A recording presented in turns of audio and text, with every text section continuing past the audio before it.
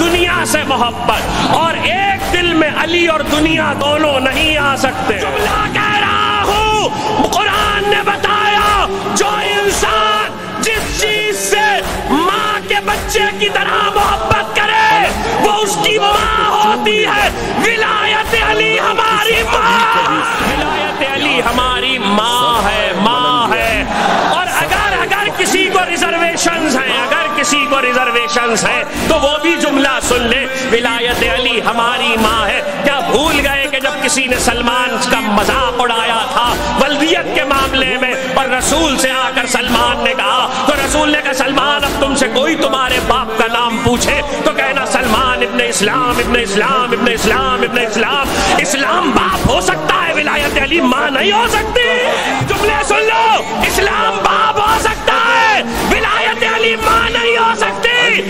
اب سمجھ میں آیا رسول نے کیوں کہا تھا؟ ماں کا حق باپ سے تین گنا زیادہ۔ ماں کا حق باپ سے تین گنا زیادہ ہے۔ اور اب جو کہہ رہا ہوں، آپ نے سمجھے تو کون سمجھے گا؟ اب حدیثیں سمجھ میں آنا شروع ہوئی ہیں۔ جب پتا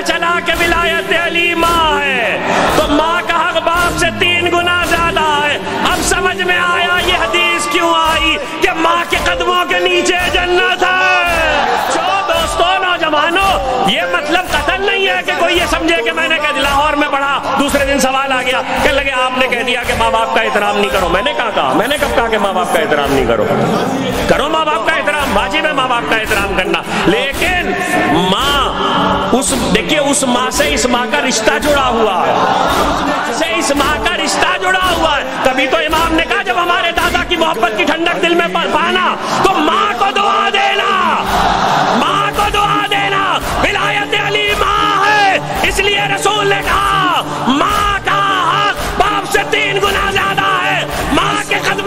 نیچے جنت ہے۔ اسی لیے حدیث آئی جو ماں کو ستائے